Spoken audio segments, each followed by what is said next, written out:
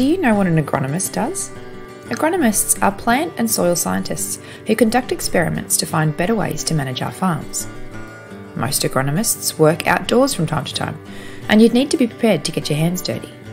You'll be working alongside farmers, researching ways to boost crops, control pests and weeds, and protect the environment.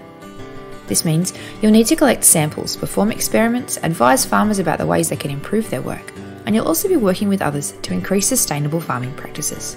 Agronomists need to be interested in science and farming, and you'll also need to be able to communicate well with others so you can share your findings. As an agronomist, you'll need to be able to visit farms, although you may not need to live in a rural location. You don't have to go to university to become an agronomist, but you will probably need a vocational or TAFE qualification to get started. Most agronomists work full time during normal business hours, and around 1 in 4 agronomists are women. It's a small industry, but it's growing fast and there's lots of demand for new agronomists. If you're interested in science and farming, see if you can find work experience or part time work on a farm, or take on a farm job such as fruit picking over the holidays. It'll help you work out if agriculture is the right place for you. Want to find out more?